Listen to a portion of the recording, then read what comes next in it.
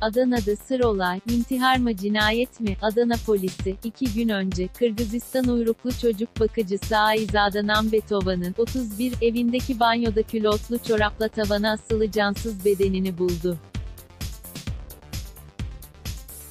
Nambetova'nın intihar mı ettiği yoksa cinayete mi kurban gittiği araştırılıyor.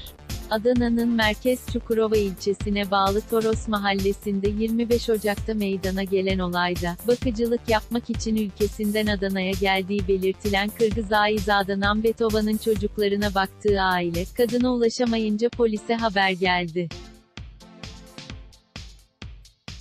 Bunun üzerine Nambetova'nın evine giden polis ekipleri, kapıyı açan olmayınca çilingir çağırdı. Kilitli olduğu belirlenen kapının çilingir tarafından açılmasıyla içeri giren ekipler, Kırgız kadının banyoda külotlu çorapla tavana asılı cansız bedenini buldu.